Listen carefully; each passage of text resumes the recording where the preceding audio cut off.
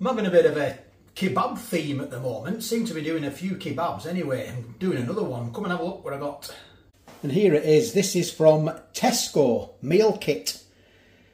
Uh, tandoori chicken kebab, one chili rating, says it serves two in five minutes. Five minutes.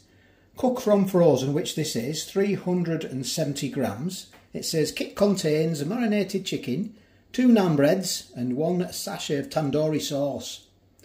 Try me with sliced red onions and sliced cucumber and there is the lovely serving suggestion. Like I say, I got it in Tesco. It was four quid. Four pounds. I've done quite a few kind of these ranges. I've done one from Iceland and one from Aldi. I think the Aldi was a pork and chicken gyros. That was very nice, very nice. And I did one in Iceland and just wasn't enough meat. They'll all be in my chicken playlist and this will be as well. I will put a link in the description. If you want to click on it, you will see it there. It makes it easier for you. Anyway, enough babbling. Let's have a look at the box. Quit your jibber jabber. Remember that one? That was a good one, wasn't it? Anyway, let's go round the back. 370 grams with a PL sticker there. I would imagine that is Poland. Warning, although every effort has been made to remove all bones, some may remain. They are the ingredients there. I'll just pan it back a bit. If you want to pause it and study them, well, by all means, go ahead. The allergens are soya, mustard, milk and wheat in there. It's got pre-cooked marinated chicken, 49%. 49%. They're all around about that sort of percentage. Um, some spiel at the top there. I should have started at the top, shouldn't I? Tandoori chicken kebab kit. Indian style meal kit with a cooked marinated chicken, Indian style naan breads and tandoori sauce. You can pan fry it or you can do it in the microwave, look.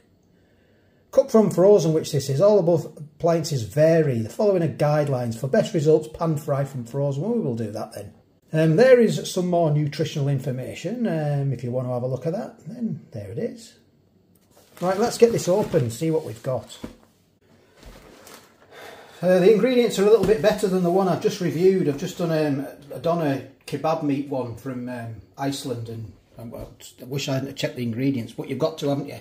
Got to know what you're putting in your body. We have got a tab system, I do notice as well. That's always good. Make sure that's intact as well. You don't want to be purchasing it when that's not intact. Right, just got to get into it now. That's um, that's how good it is. Right. Yeah, yeah, we're in. We're we're in think. The box is wet, so it's very soft because it has been in the freezer. Yeah, wowzers. That, that's meat. That should have a one each really if it serves two. what they try to do, make us all thin. And there's your sort of little, very small naan breads. And there's your sauce. I got the kettle on as you can hear. The sauce, it says place in a bowl of hot water. So I'm going to put it in this pot here. It's going to go in like that and it's just going to sort of defrost in there with hot water. Um, with the chicken, it says put four tablespoons of water in your pan um, and then you add your ingredients. I can't see a tab system, so I've got some scissors. Um, and then obviously add this to your pan and cover it for two or three minutes. So that's what I'm going to do now. That water's bubbling, look, you can see. I'll put that in there. I'll give it a stir.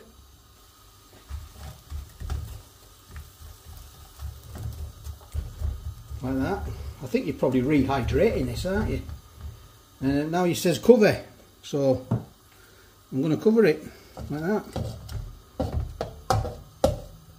Let it let it steam away.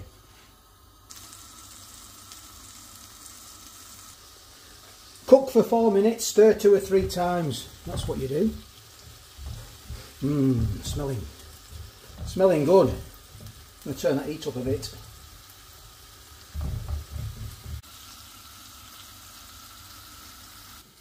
There's your naan breads, they're frozen. These are going in the microwave, 800 watts for one and a half minutes. Last minute says leave uncovered.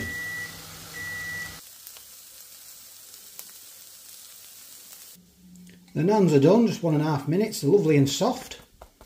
So I'm just going to throw it on top, you know, like what they've done. Um, obviously, it's your serving suggestion, you put what you like on it.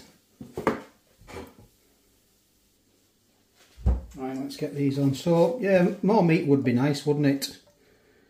But, you know, just, yeah. So I'll put that on there, sort of make them up as if I'm doing two. Um,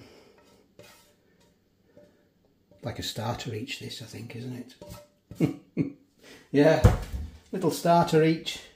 I suppose if you've got, you put salad on and all that on there, like, you know, um, and bulk it out a bit. You, you know, sort of, sort of spiced potatoes or something like that. Or whatever you want to do it with. Right, let's have a look at this sauce. Oh, just give me hands a wash. So there's your, there's your sauce in there.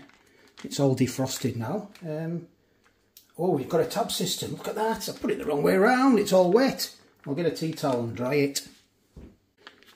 Oh, my God. Jeans coming handy. Um, it's all wet, you see. I'm just going to get some. I'm just going to get some scissors on it. I don't want it splurting out and going everywhere. Right, let's get this on.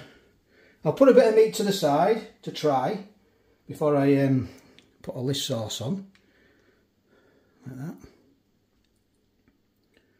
because you can smell the spices in the actual meat when you're cooking it. It smells really nice, it does. Right, I won't put it all on. Well, less is more and all that. Um, right, I'm going to try this, see what it's like.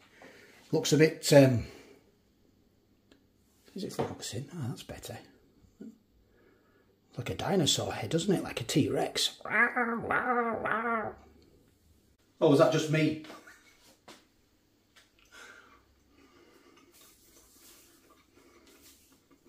Mmm. Quite salty. Salty. Tasty though. Spices are lovely. Chicken's very soft.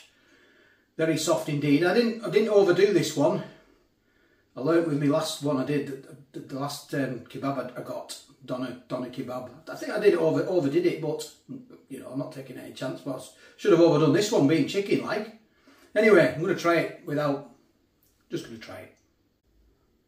Chickens look better, I'll be honest.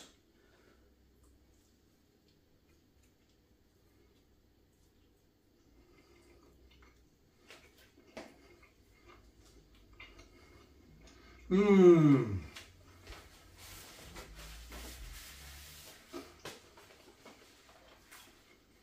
Mm, that sauce is lovely. It's quite salty, but I, I don't mind it. It's tasty though.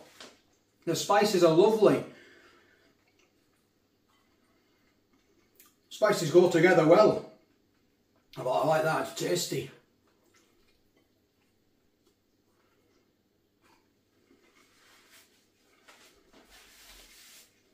It is finger food.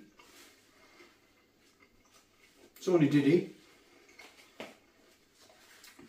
Should be a starter. Tandoori chicken starter kebab for two.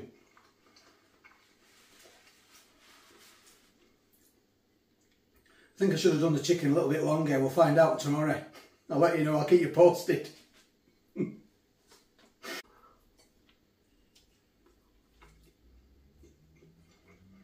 Mmm.